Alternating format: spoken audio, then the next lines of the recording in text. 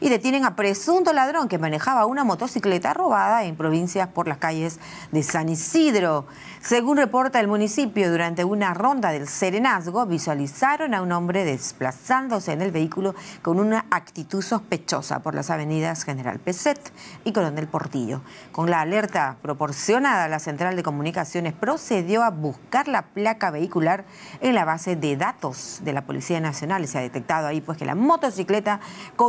coincidía en modelo, en color, con una reportada como robada en Huánuco por lo que de inmediato se procedió a la detención respectiva y el traslado hacia la comisaría del conductor y del vehículo también. Bueno, la intervención fue registrada por las cámaras de seguridad y de ahí la importancia de denunciar ¿no? este tipo de robos